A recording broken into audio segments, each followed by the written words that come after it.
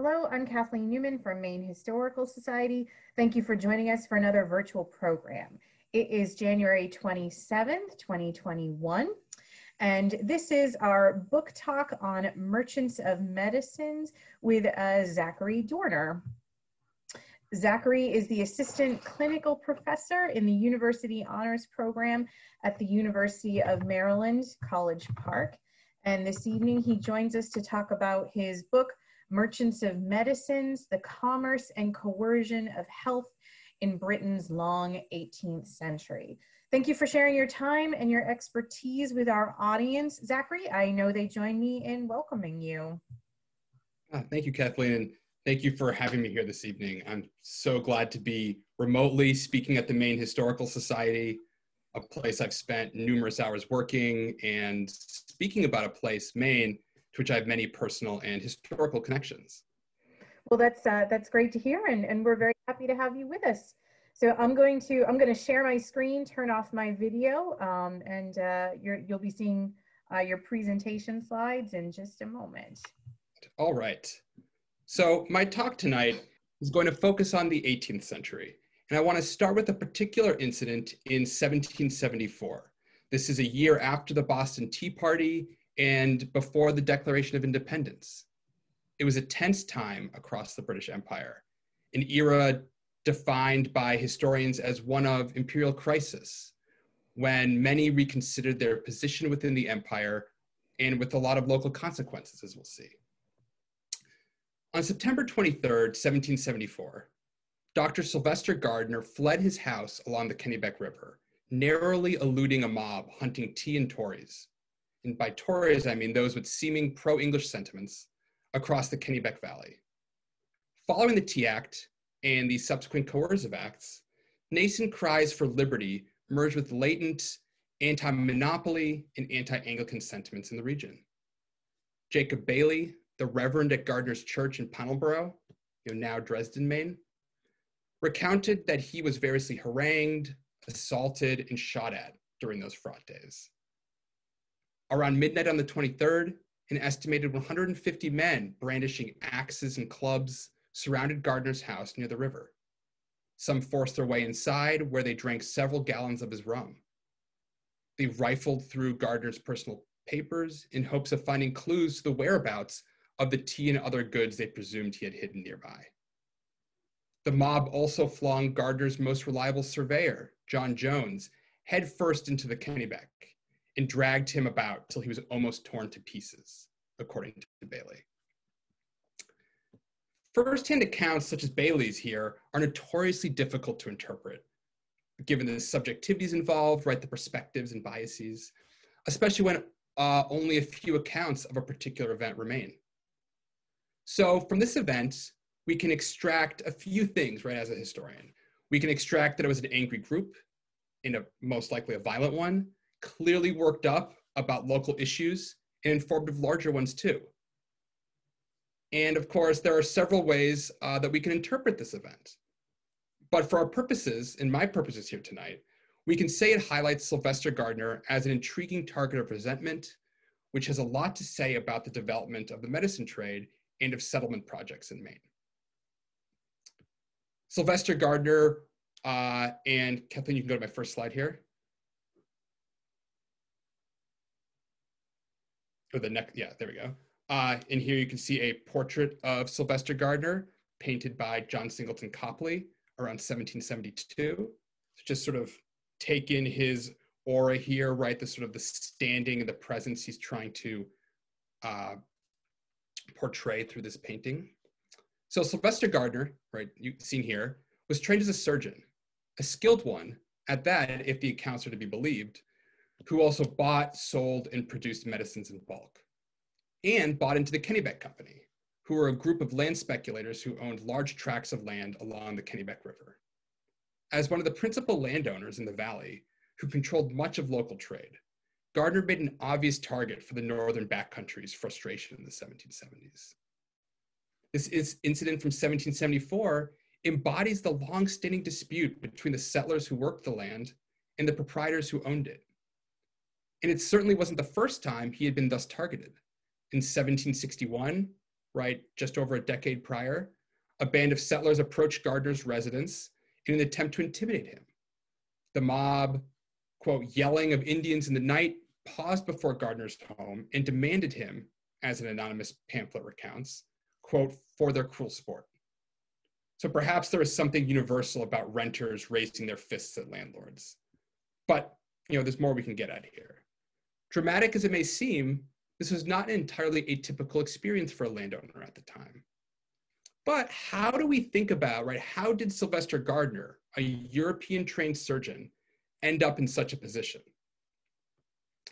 A version of this question, right, how did, how did Gardiner end up at the sort of the confluence of all these different threads, was one that motivated my book, Merchants of Medicines. And in the process of researching and writing that book, I, the answer I learned involves money, trees, medicines, bladders, and the kinds of connections and luck required for successful transatlantic trade. Especially though, the answer involves the emergence of a new kind of large scale, healthcare tied to the plantation economy and returning big money under the right circumstances. So some of you attending tonight, perhaps many of you, may already know of Gardiner, right? He's certainly a known figure in Maine history. But I want to use his background in medicine to do something a little bit different than usual. I want to talk about Gardiner, the surgeon and medicine importer, not Gardiner, the wealthy land speculator. Um, though these right these multiple sides of his professional life are clearly connected, as as I'll talk about. Gardiner was born in 1707 on his family's estate in South Kingstown, Rhode Island. An early interest in plants, coupled with his patrimony, enabled him to seek a medical education first in Boston and then Europe, where he studied for eight years in the surgical halls of Paris and London, where he, learning the newest techniques for removing gallstones and bladder stones. And this was a pretty difficult and actually quite common uh, affliction at the time. Upon returning uh, to Boston in 1734, he opened his own surgical practice, finding regional renown performing a difficult surgical technique known as lithotomy for removing bladder stones. And within a decade, he had branched out into importing, making, and selling medicines. There were few professional boundaries or credentialing as we can understand them today at the time. These porous boundaries between occupations. Um, so there were there were these there were porous boundaries between occupations that today we might expect to be separate right? Surgeons, pharmacists, physicians, right? All of these, you know, these, these categories were very sort of fluid um, at the time, right? And, and these porous boundaries provided circumstances where Gardiner could inhabit many of these roles at once. By some accounts, he also became the leading apothecary in colonial New England, selling to a range of institutional and individual customers. And by this, I mean ships in the harbor, the governor's daughters, military regiments, farmers, etc. And I'll talk about that in greater detail. He dined with Boston's leading merchants, played cards with members of the Quincy family, and had his portrait, right again seen here, painted by Copley. He also leveraged his connections and expertise to connect the transatlantic medicine trade to land speculation and resource extraction uh, in New England as a proprietor of the Kennebec Company. I hope you can already surmise that Gardiner was hardly your run of the mill apothecary, surgeon, vendor of medicines. So then, how can we understand the standing of a surgeon making and selling medicines? Right? How can we understand his standing? Again, he's certainly not your run of the mill operator, but Gardiner is also indicative of larger trends in the medicine trade in the evolution of something resembling the kinds of modern take this for that healthcare we're familiar with today. As the global trade in manufactured medicines took off in the 18th century, it took individuals in colonial spaces like Gardiner to help it do so. He was part of what made the trade stick or what helped over time entangle it in local economies and colonial schemes. So now I'm going to turn more toward healthcare at the time and medicines to set up that part of this.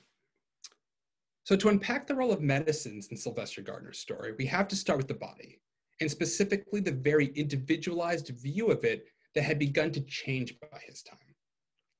In Europe for millennia, staying healthy meant achieving one's optimal balance of the four humors phlegm, choler, blood, and bile, according to one's unique bodily composition of them, which was called one's constitution, in the face of a variety of environmental and bodily events that would disrupt it, a very fragile sort of balance.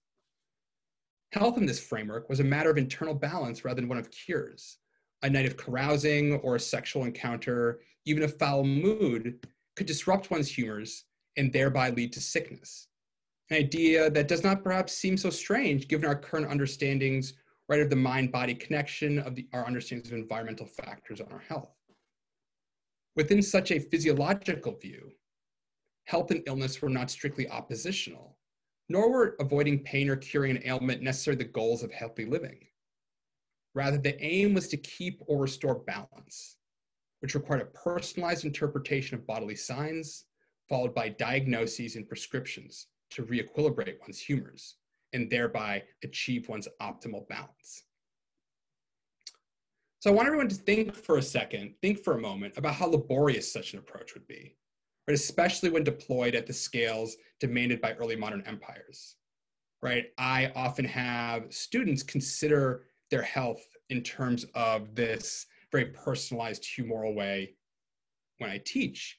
And perhaps it seems graspable and understandable at the individual level, but if you then extrapolate that to the institutional level, or to the scales demanded by empires, it can become you know, quite daunting and anxiety inducing to sort of think at that level.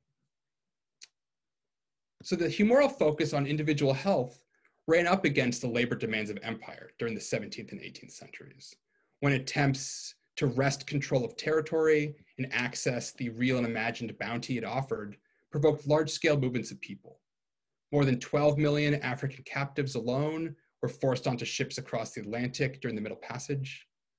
Between 1688 and 1815, the British Royal Navy mobilized roughly 500,000 men, volunteer and impressed in wars against France and Spain. The army and trading companies sent scores more overseas to face new disease environments while European settlers traveled to new spaces where their bodies were seen as in danger of transformation in foreign landscapes and under unfamiliar stars. Despite novel threats to the mind, body, and soul, death acknowledged neither skid nor rank and remained a constant companion in terrifying new guises. High rates of childhood and infant death, as well as the ever present funerary rituals in early New England, made real the nearly ubiquitous fear that even the slightest difficulty could become something dire. The political, economic, and mental components of health made it such a pressing issue at the time, and one that stretched across great distances and concerned scores of people, both free and unfree.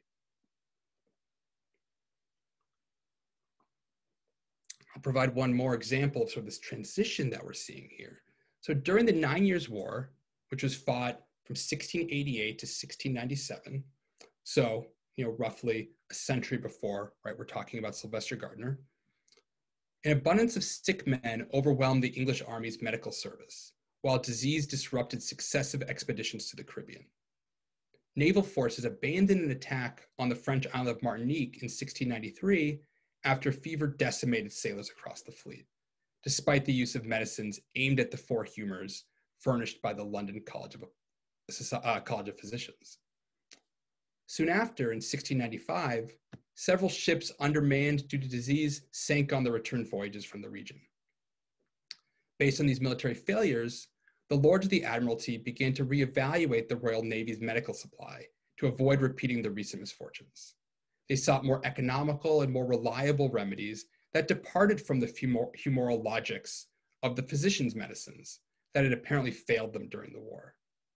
The Admiralty sought simpler medicines that would not require the kinds of complex individualized care right, that were required under a humoral interpretation and could thus be applied more broadly for curative instead of rebalancing purposes. Manufacturers then jumped at the opportunity to lobby the Admiralty for a contract, recognizing that the Navy could invest substantial sums in efforts to keep its sailors and soldiers alive. So, under these geopolitical circumstances, then, the long-standing idea that ill health came from internal imbalance began to see competition from another view that diseases had essential qualities of their own and attacked the body from outside.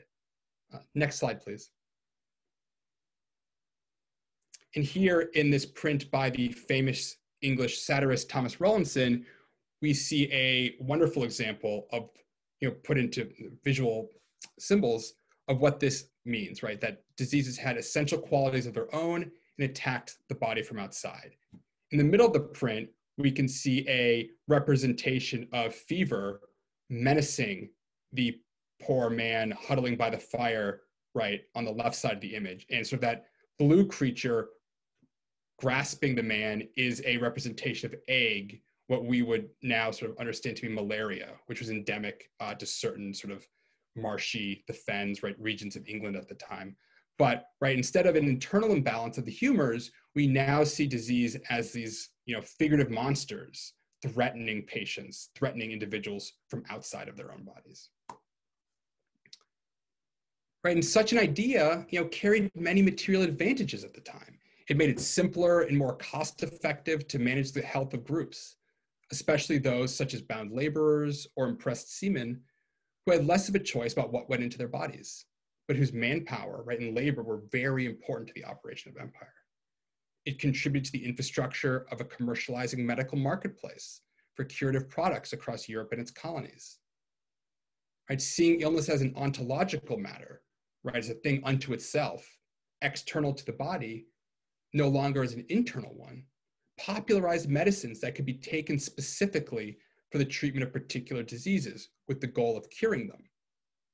In this way of thinking, right, then we can see how that can lead to new ways of making and marketing medicines, new ways of purchasing them, transporting them, applying them. And new printed texts by notable researchers, including Thomas Sydenham, Herman Boerhaave, and Carl Linnaeus, classified and characterized diseases, uh, right? Just as Linnaeus classified plants, he also began to classify diseases in a much similar way. Uh, and remedies known as specifics were taught in Europe's most prominent medical schools. Larger patient groups, uh, such as those on a sugar estate or ship of the line, could be more conveniently treated with medicines designed materially and conceptually to be administered to groups of people. Faced with easily communicable and infectious diseases, such as malaria and yellow fever, that could move quickly through a proximal population, colonial medical practitioners found prepackaged medicines designed to treat a certain disease much simpler and cost effective than the more time consuming and patient centered process of reading someone's humoral balance, especially in context of dehumanizing power imbalances. And during the same period, credit based finance underwrote greater manufacturing and exportation capacity of these medicines in Europe. Partnerships of apothecaries, chemists, and druggists coalesced in mid 18th century London to service overseas demand for healthcare by producing in bulk medicines capable of being transported across oceans without spoiling and applied more or less uniformly to groups of people believed to be suffering from similar ailments. Next slide, please. And these are two images taken from my book that give a broad sort of overview of the expansion of the medicine, transatlantic medicine trade in the 18th century. And you, you know, this slide will be up for a little bit. Uh, so take a, take a moment to keep looking at it. But the top image shows the sort of expansion of letters concerning the medicine trade and correspondence crossing the Atlantic during this period. And the graph below sort of shows the overall general increase in medicine exports from England at the time. And as we can see, right, medicine exports rose exponentially during the 18th century, achieving a scale and a coherence not yet seen. The nearly 5% annual growth rate amounts to quite a large increase over the decades, as you can see in the bottom graph. Right, envision here for a moment the connection between the promise of more profit, bigger production, and wider distribution. These trends both pushed and were pushed by institutional contracts, new production capacity, financial instruments, colonial wars, and new ways of thinking about the body and disease. And this is, I find, the germ of big pharma as we talk about it today. GlaxoSmithKline, for example, which along with Sanofi holds the largest US government contract to produce a COVID 19 vaccine under Operation Warp Speed, can trace its origins back to Pl- the Plough Court Pharmacy, founded by Sylvanus Bevan in 1715 off Lombard Street in London. Uh, next slide, please. And here we can just see, right, an image of GlaxoSmithKline in London on the left and Plough Court Pharmacy uh, off Lombard Street in London on the right. And you know, you don't have, you know, Bevan and Plough Court won't be showing up again in the rest of this talk, but I think this is an important point to make, right? That these makers and vendors of medicine in this period aren't lost the time to the, to the sort of the, the backstory of history, right? They become incorporated, they get sort of taken up by the kinds of pharmaceutical manufacturers that arise in the centuries to come. And of course, this kind of bulk interchangeable imperial healthcare represents the spark of the take this for that, one size fits most approach that has predominated for much of the past couple centuries in medicine. I can go into more depth on this point um, in the Q&A. I also talk about it more uh, in the book. But for now, I want to turn back to Sylvester Gardiner as our guide to some of the local impacts of these big abstract changes in the medicine trade.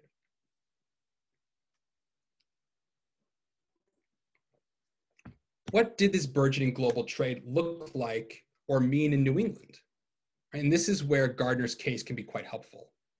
As in other transatlantic trades, such as agricultural produce or rum, there was money to be made in the medicine trade, which would alter the lives and ecologies of many across the region and beyond. Since no large scale drug manufacturing yet existed in British North America, colonial practitioners and traders relied on transatlantic trade to maintain their stocks. Next slide, please. Here we can see some of the glass vials used for exporting medicines. Various tinctures, elixirs, pills, plasters were packed into glass vials and then wooden crates in London to cross the Atlantic, during which journey they were subjected to corrosion and spoilage in leaky holds or total loss, such as when ships sank or were captured by privateers. Sometimes chemical reactions could occur between various salts, seawater, and other goods to cause explosions in holds. Yet, despite these challenges from 1720 to 1774, the value and weight of recorded annual medicine exports to New England increased more than eightfold.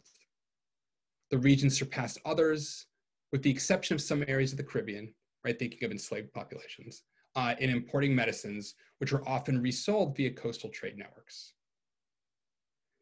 Gardiner's income from selling medicines exceeded that of an ordinary medical practitioner by perhaps sevenfold.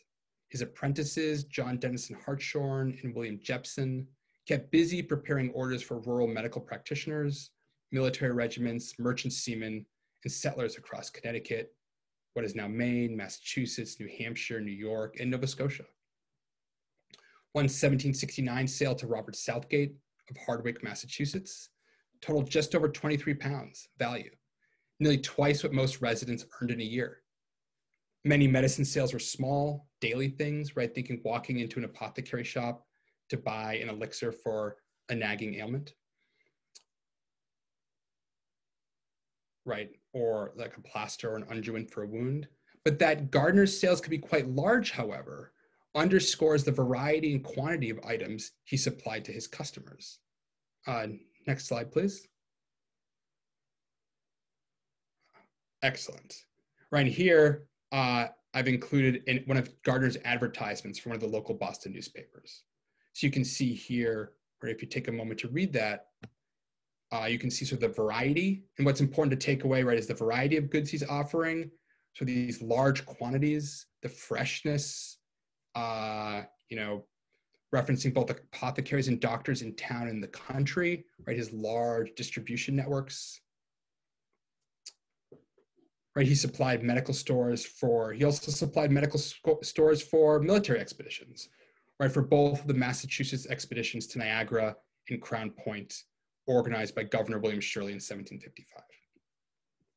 So all this is to say, right, a vibrant regional trade in medicines, both finished products and ingredients, emerged across the region in the 18th century. supported by rising demand from sizable military and mercantile communities, and requiring the use of indentured enslaved and enslaved labor. And this is something I'm thinking about for future projects as well, that there is a hidden labor history of medicine in here too.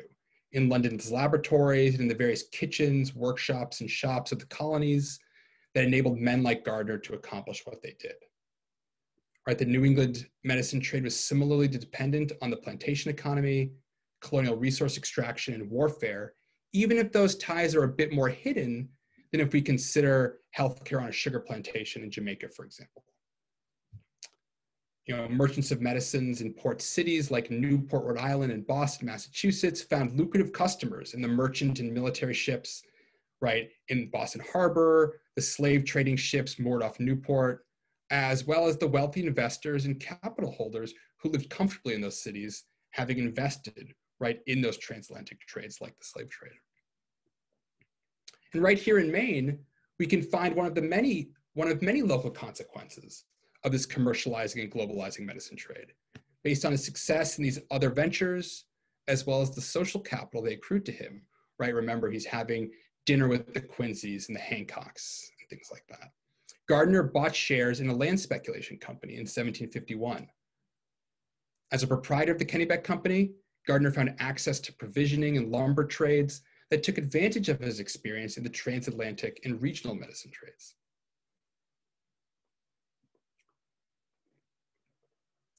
land speculation. So now I'm going to turn to land speculation and think about trees. Land speculation, and by this I basically mean purchasing land from away with the intention of developing and renting it for a profit in the future. It already had a long and complicated history in northern New England by the middle decades of the 18th century, right before Gardiner ever got involved. The Kennebec Company, formally incorporated in 1752, upset a fragile equilibrium that had reigned in Maine since Dummer's Treaty ended Father Rale's War in 1727, as it aggressively, right, as the Kennebec Company aggressively developed a claim of about 3,000 square miles along the Kennebec River. Next slide, please. And here is an excellent hand-drawn map by the historian David Ghere uh, that shows your know, representation of Maine at the time with the Kennebec Company's claim sort of with that dotted line uh, in the middle. The company built two forts, Frankfort and Fort Western, established a dozen towns, cleared much acreage, settled hundreds of families, intimidated opponents, and clashed with agents of the crown over forest rights. Uh, next slide, please. And here we have a map produced by the Kennebec Company uh, of their claims in the region that's held in the collections of the Maine Historical Society um, in the Kennebec Company's records collection. So we can see here their depiction. Um, I'm sorry, the format of the slide led to be cut off, but you can see those, those rectangles in the center top are sort of their representation of their claims in the region. And the Kennebec Company's records reside here at the Maine Historical Society, providing a deep look at the inner workings of a land speculation company in the mid 18th century. These records, when combined with Gardiner's other papers that I found in Massachusetts and Pennsylvania, fill out a portrait of one outlet of the transatlantic medicine trade at the intersection of so many different threads of early American history, right? Combining the economic, right, seen here, with sort of the medical, is one of the pillars of my approach to archival work. Reading early modern medical terminology can be challenging, as can be deciphering early modern weights, measures, and monies. Yet by wading through all of this, right, historians can underscore the closeness of even these similarly disparate enterprises, right, which perhaps, right, uh, don't seem that disparate anymore, but right, health and commerce, and show how they've influenced each other's development over time. And so, right, where do medicines fit in though? And this is where I'm gonna go next. So thanks in part to his previous decade's success in trade, Gardiner could become one of the Kennebec Company's largest sources of credit for the region's development. It also allowed him the opportunity to expand a diversifying medicine trade into a new regional market. Gardiner had a 50 ton sloop, the Kennebec, built to transport people and goods and used for his other business in the Gulf of Maine, which had come to include provisions, including grain, meat, arms, building materials, and medicines. For the supplies he sent to families on company land, Gardiner was compensated with credit or land, uh, which were desirable returns from trade at the time.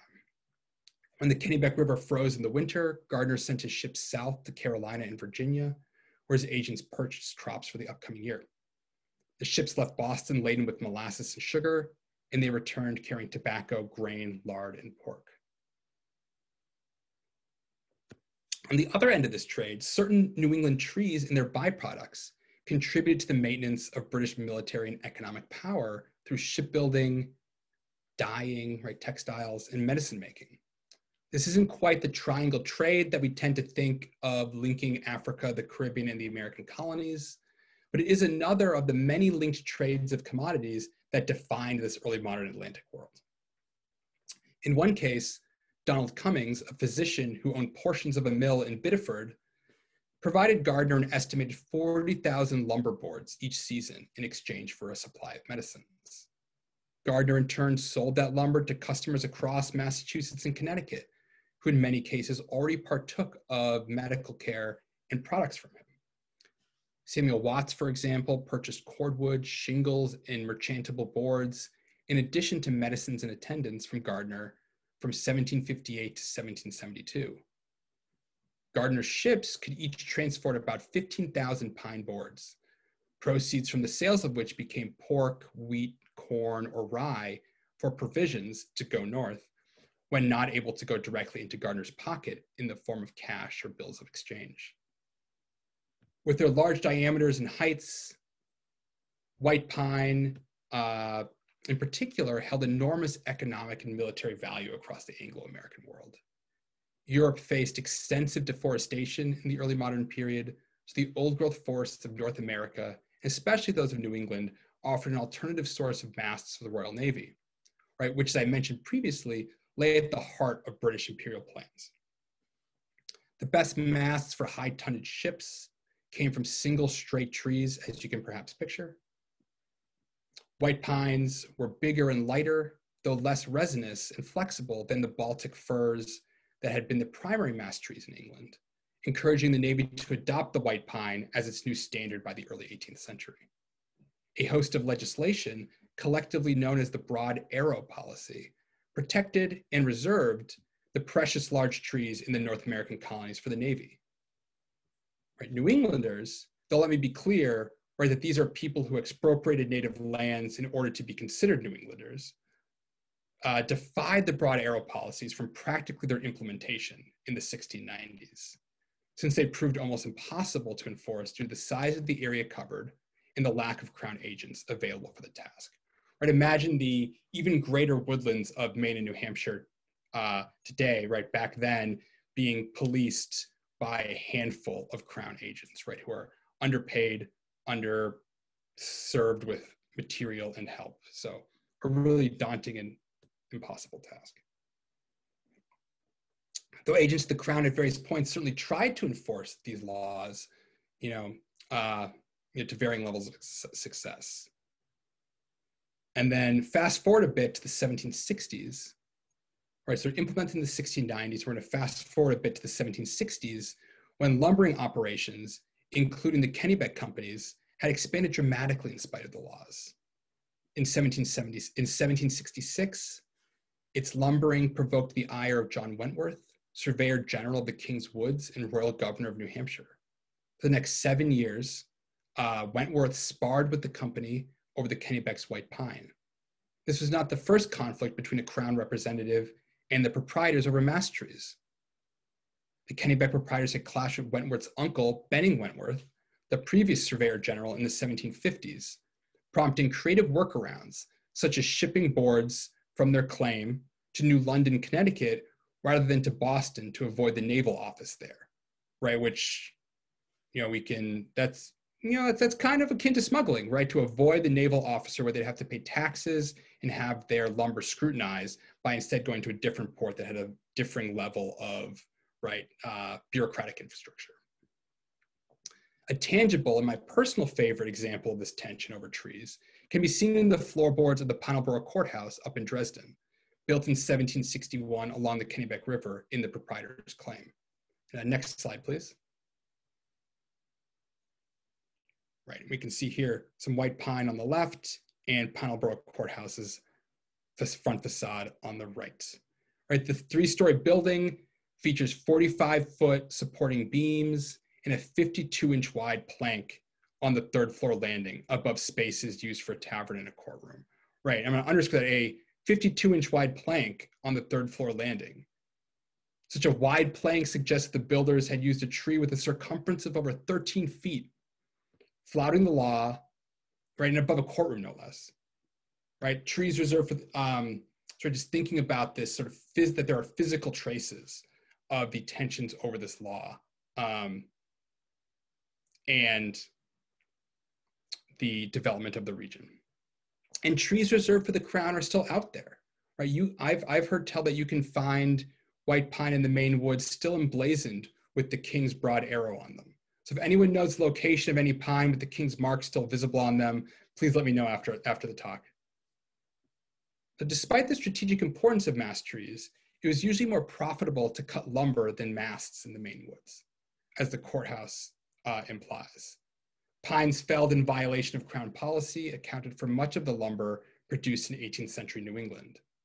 This lumber, as boards and staves, was then profitably exported to the Caribbean and other Atlantic destinations. In some areas of Maine, lumbering became the equivalent of a monoculture, so that settlers depended on imported provisions for much of their supplies, according to some reports. And of course, logging and paper mills remained essential to Maine's economy for a long time thereafter.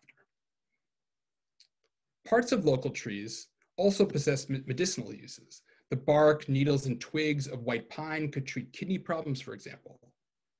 Right, you can see that the parts of trees mentioned in medical texts and recipe books are the parts not typically used for shipbuilding or lumbering.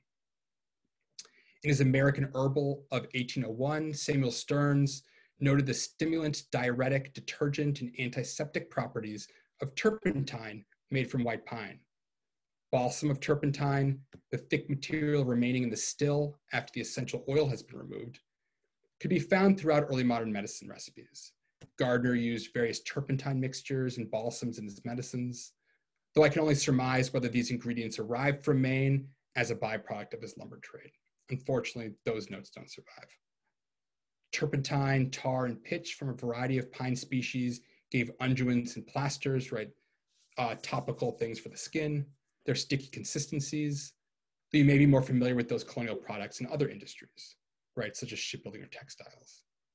The hackmatack or tamarack tree, better known as the eastern larch, became prized in wooden shipbuilding in the 18th century, while its bark was valued for its therapeutic properties. The Micmac, for instance, used hackmatack bark to treat colds, fevers, and infections. Resources extracted from Maine in one way or another became part of Sylvester Gardiner's regional and transatlantic commercial ties during the 18th century, reflecting a similar trend happening across various long distance imperial trades. Gardiner's position within knowledge and trade networks set the conditions for his position within the Kennebec Company, that in turn enabled him to exploit the land and labor of northern New England for several decades. As a proprietor, Gardiner extracted rents, sold provisions, felled trees, and angered many people. That these ventures relied on credit and connections from the medicine trade further entangled British medicines and colonial natural resources. Not only were popular medicines made from colonial plants, but they also helped fund their extraction. Now I'm going to begin to wrap up. When the Continental Army confiscated what they could of Gardiner's estate in 1776, after he had fled Boston with others deemed loyalists, they found more than 2,000 pounds value of medicines, an impressive stock given a single medicine chest sold for around 20 pounds. Seeing the diversification of Gardiner's enterprises, medicine seems less of a calling than a way to gain wealth and status especially as the portrait of his second wife, Abigail Pickman from 1772, also suggests. Next slide, please. And here we have Copley also painted a portrait around 1772 of Gardiner's second wife, Abigail Pickman. And this portrait right depicts her wearing a fashionable Turkish inspired dress, right, in a pose reflecting the family's social standing. Right? As you as you look at this, sort of consider the the vibrant colors, right, achieved in the painting, but also we presume, right, achieved in the, the garment itself, right, with dyes, right, which are valuable and expensive, the rich textures of the heavy fabrics, right? You can see the, the heavy fabric, right? These, these quality goods and attention to fashionable European styles underscores the family's position in colonial society and trade by the end of Gardiner's nearly 40 year career. And seeing the ways Gardiner leveraged medicine and connected it with other extractive processes, right, felling trees, et cetera, illustrates some of the motivations behind an expanding medicine trade and the ways it touched many corners of the British Empire in this period. His experience is not unique, perhaps somewhat rare in terms of scale, right, but Gardiner's is by no means unique in terms of strategy or actions. The manpower and energy needs of empire were significant and consumed medicines alongside trees, people, and so many other things in ways that we're still figuring out in dealing with uh, the consequences of today. And this is just one small piece of that story.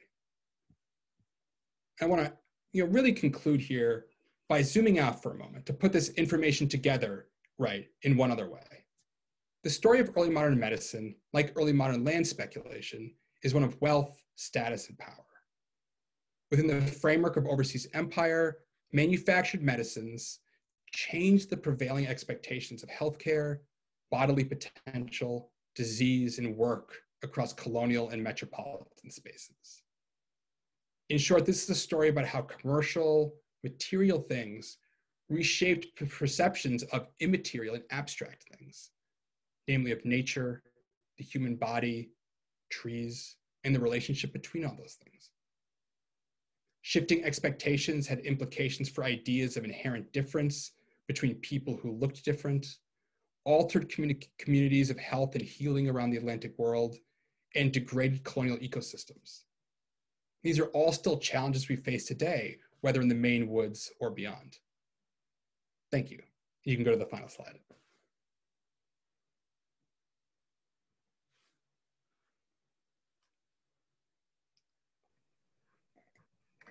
Thank you, Zachary. Um, that was really interesting uh, and really informative. I'm going to leave your, your contact information up there for just a moment.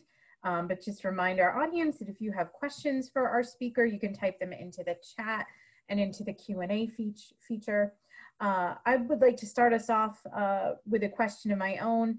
Can you speak a little bit more to how you utilized the collections at Maine Historical Society for your research? Certainly. Uh, on the one hand, I found the collections, I didn't really know what to expect when I first arrived at the Maine Historical Society. I had seen that you had resources pertaining to Sylvester Gardiner and his involvement in the Kennebec Company, but I did not know the extent and the richness of the Kennebec Company papers that you possess at the Maine Historical Society. So I looked at those papers for in a particular way to understand Gardiner's role within the company and his sort of the ways that he leveraged his different ventures to gain a foothold in the company and profit from the kinds of business that they were doing in the region. But there are so many other ways, right? Uh, someone could read those sources, and others have um, for for different ends, thinking about right the real sort of physical development of this region of Maine, local political conflicts, I mean, I use several maps in the book uh, from your collections that are excellent and so informative. Um, the, the depth of records, right, really enabled me, but also others, right, to see a land, a company of individuals brought together to exploit land, right, and profit from it, and see all the different facets of that endeavor, um, and where it fails and where it succeeded, right, and everything in between. Thank you. Uh, someone is uh, uh, saying, um, one of our listeners, Sally, uh, says uh, that they learned so much uh, this evening, and thank you. Um, and she's curious, or they're curious, what is your personal connection to Maine? Well, thank you for the question, Sally. I appreciate the kind words. yeah, and I, I have um, I have my some of my wife's family currently lives and is from Maine, so I have fond memories of visiting them and spending time in the States. And as you heard me allude in the talk, uh, I also like to be outdoors, so do have this interesting relationship in Maine in that I've been able to connect my history work to material uh, examples of that that still exist in Maine, right? Whether that's Tate House or Pownalborough Courthouse or right the structures on Swan Island. Um, there are these still tangible uh, examples that make it really cool for a historian, right, to make those connections uh, in person too. Brenda is asking, um, did uh, Gardiner learn anything from indigenous people on using natural medicines in the area? That's a really interesting question. And one that, right, historians of medicine and sort of historians of colonial America, like myself and others, really struggle to answer. In that, right, a big problem of history, right, is that we're beholden to the sources left by people who left who left stuff, right? To put it bluntly, right, the people who could read and write, to people who left records that were deemed worthy of being preserved, right? That that you know, if you think of sort of a as an archive, right? Not necessarily now, but even in the past, right? Um, all the time in between, sort of what is deemed worthy of being preserved is a difficult question. Um, and the answer to that question has changed over time, right? As the society's priorities have changed. Um, this is a long way of saying that records sort of that speak to that cross-cultural interaction are rare, particularly in terms of medicine, because oftentimes that sort of medical relationship is seen as one of strict power differentials and of sort of suspicion or fears, right, of some sort of medical system that looks different. And of course, in other cases, there are really well documented examples where you know, medicinal plants and sort of techniques are able to make that jump and do get incorporated into European medical practice in, in one way or another. But I don't have any, I mean, we see Gardiner using medicinal plants that have come from native peoples elsewhere in the empire, right, and have traveled across these large scale uh, trade networks. So that's really interesting to see and think about, oh my, right, this thing must have come from South America or South Asia, right? But I don't have any record of action of interaction in Maine itself. Um, although, of course, we can speculate, right? He's using things like castor oil, right, which in colonial New England, right, are being used in medicine and other sort of manufacturing techniques coming from native traders who are trading that from the interior. So we can make some hazy inferences, but I don't have any sources of a direct interaction like that. Sure. Nancy uh, asks, what's next for you? Uh, what are you working on now? Uh, another book maybe or, or something else? Uh, I'm working on a few articles right now, one of which uh, is pretty fun if I if I can say that, is sort of working on a book chapter to, for uh, to use for undergrads to learn how to use sources uh, in the history of medicine in their undergraduate schoolwork. So thinking of as a primer of how to approach sort of these business records of the medicine. Mm. I think that is sort of one of my specialties is sort of thinking about medicine, but thinking about this commercial side of it.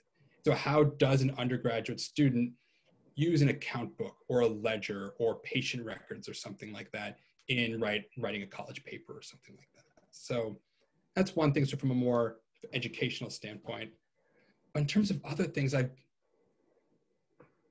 pushing beyond the book, right? This other question of how did people at the time interact with medicines? Right? We can see if they bought or sold it, right? We can read diaries to see if they used them. But I'm interested in finding examples of how did you know tasting, smelling, really understanding these fragrant, colorful, bitter, sweet, acidic, right, mm-hmm. substances that people are putting on their bodies and putting inside themselves.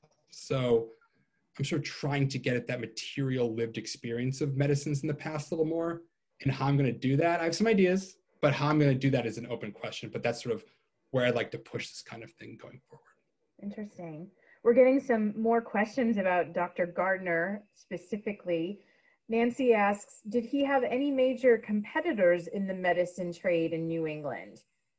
Yes, yeah, there, right, there are, right, he definitely rises to the top in terms of social capital, sort of stock, scale, distribution, right? He's shipping medicines to Nova Scotia, right? Sort of thinking about that as an extension, right, of sort of this North Atlantic coastline, right? Um, but he does, and it, it, is, it is interesting to see how these fault lines break, right? When uh, political tensions rise in the 1770s, right? There are other sort of mid to large scale makers and sellers of medicines, right? Martin Brimmer is one whom I talk about in the book. He actually joins the Sons of Liberty in Boston and is named by a British newspaper as one of the sort of top 60, you know, members, right? And he sells to, and his business uh, continues during the revolutionary conflict, whereas Gardiner, because of his sort of eliteness and political leanings and religious affiliations, decides to flee Boston and so gives up his houses, his medicine stock.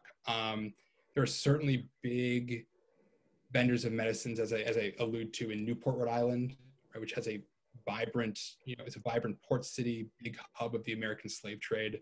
Also, a lot of supply of ships. But yeah, if, you're in a port city, you can find people vending medicine. Um, and the competition could be especially fierce for people like Donald Cummings, right? In a, a Biddeford, a sort of up and coming mill town at the time, or, or not mill as right, but those are like processing lumber, right, mills.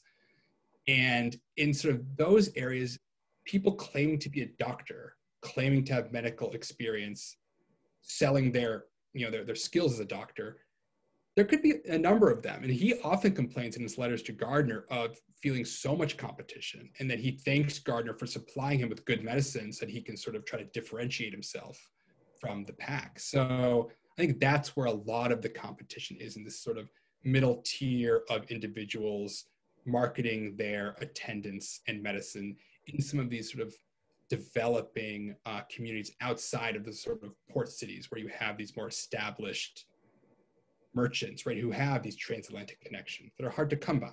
So in that way, sort of Gardiner's a little bit protected from competition because of these long distance ties that he's mm. cultivated you touched on this a second ago, uh, but Lori is asking what eventually happened to Dr. Gardiner. Did he play a role in the Revolutionary War?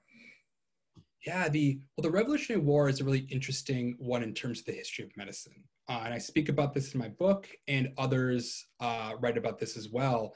But right, if you think about it, right, wars are an incredibly awful time right for for humans and, and, particularly in terms of right injuries from war as well as the sort of spread of disease between you know um, regiments and people who are away from home you know subjected to sort of extreme physical conditions and things like that um, on the one hand the american revolution really sparks american medicine manufacturing because these transatlantic ties right that gardiner and others rely on for imports of medicines in many ways get cut off right when mm-hmm. britain legally ends trade with the American with its North American colonies, and so they have to look to other ways, whether that's the French, the Dutch, or making them right in cities like Philadelphia, where really vibrant medicine manufacturing begins uh, in the 17, 1775, 76. Um, really sparks that. But and so some people actually find lucrative business during the American Revolution. There's others like Gardiner, because I, as I said, of his political and religious leanings, right? He decides to flee Boston his medical stocks get confiscated by the Continental Army, get distributed to regiments, right? So they get used. Um, he eventually goes to New York, uh, and then he eventually flees to Nova Scotia, and eventually ends up in Poole, England, where he lives for a time.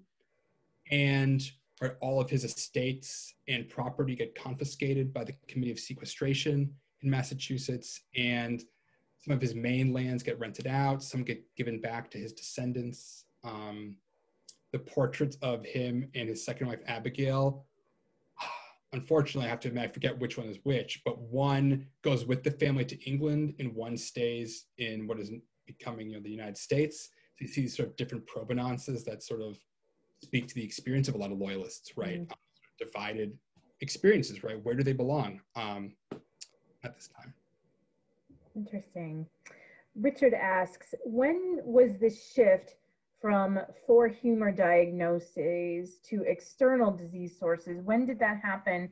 And is there any sense of the steps that in, involved into what becomes germ theory? Like, how does that figure in? Yeah, there's a well, it's there's no as with anything sort of in the history of medicine, at least in the early modern time. And even today, I'd argue, right, there's no real sort of clean, bright line where one thing becomes another. So we see even in the 18th century, um, we see people still referring to the humors and referring to the effects of climate and moods, even as they're talking about medicines that are specifically designed for specific diseases. Right. So we see them sort of competing, coexisting. Um, but this idea of sort of an ontological framework, right, that diseases are something that threaten the body from outside, that's coming into vogue, right, in the 1600s. And we can sort of trace antecedents of this, right? Plague, certain diseases, plague is always seen sort of as an external invader. That was never sort of an imbalance um, thing. There's some, it's not like new, but it's coming more into popularity for a wider variety of ailments in the 1600s. And as I argue in the book, these sort of exigencies and needs of empire, right, of manpower, of waging war, sort of push this sort of very convenient way of thinking about disease and body more into the forefront of British healthcare um, over the course of the 1700s. Um, and right, and that does lead into germ theory. I mean, there are many steps along the way, right? Sort of dead ends and false starts, right? The sort of more mechanistic views of the body. But right, we can definitely sort of put that on that line. But I do want to say, right, that it's not necessary, like at this time that I'm talking about this in the book, we are not necessarily ending up at germ theory, right? There are a lot of different ways, dead ends, false starts that this could have gone um, before getting to germ theory. One last question for you, uh, Zachary, from Anne, um, who says she, she came to the talk a little late. Can you just re refresh um, why and who we're, we're throwing um, Gardiner's servants into the Kennebec? Yeah, well, right there, there are these two examples of this where Gardiner, as a you know landlord, landowner in Maine, he gets approached by a group of settlers or people who rent the land and live on the land uh, in 1774 and again in 1761. 1774, there's a few more sources, and uh, he his his the the, the, um, the minister at the local church says that they are right. They throw um, they sort of threaten him. They want to find the tea that he's hidden in his house, right? They're crying for liberty, sort of taking up those calls that are increasingly spreading across the region in 1774. But the fact that they throw his surveyor into the river and threaten his life and threaten the life of the minister, right, shows that there are some sort of religious tensions, right? Gardiner's a high Anglican, right? The church in, Dres- in Pownalborough, Dresden, right, is an Anglican church at the time. Um, and that flies in the face of a lot of the other kind, right, other sort of um, types of Protestantism in the region at the time, right? The targeting of the surveyor suggests, right, that there's discontent over demarcations of land. Um, we know that there's political strife with other sort of municipalities in the region, for lack of a better word, like it really sort of pushes back on the proprietors when they try to expand their claim. So there's a lot of this sort of debate over who should own the land, how much rent should be extracted, um, where are those boundaries, what are the obligations, right, of those people. And if that's a topic um, that any of our listeners are interested in learning more about, um, we hosted a program with Alan Taylor last year on Liberty Men and, and Great Proprietors. And you can see that recording on our website. So if you haven't seen that yet and you'd like to learn more about that topic, uh, please, please visit our website. And our website, uh, mainehistory.org, is where you'll be able to find the recording of this program in a few weeks. It's also where you can learn more about how you can do research at Maine Historical Society, about how you can visit our museum, become a member, learn about upcoming programs, visit mainehistory.org. Uh, the book is Merchants of Medicine by Zachary Dorner. You can purchase that book through our museum store at mainehistorystore.com. Thank you so much, everyone, for joining us, and uh, thank you, Zachary, for this uh, this wonderful discussion. Uh, good luck with the book. I know we're all looking forward to reading it. Thank you. Thank you, Kathleen. Oh, this was lovely. Thanks so much for having me.